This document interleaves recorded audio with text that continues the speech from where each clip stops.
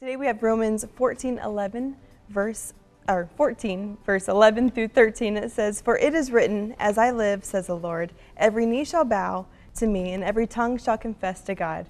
So then each of us shall give an account for himself to God.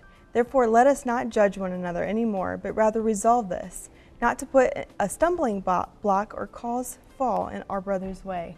And that is so true. God is so, He came to this world not to condemn the world, um, but to save the world, you know, from our sin, and um, that's what He wants to do. Um, that's what He wants us to do, is is to show love and accountability to others.